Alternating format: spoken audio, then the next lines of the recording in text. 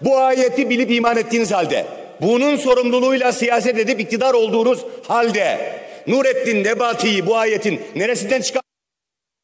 Misalen söylüyorum. Nurettin Nebati'yi bu ayetin neresinden çıkardınız?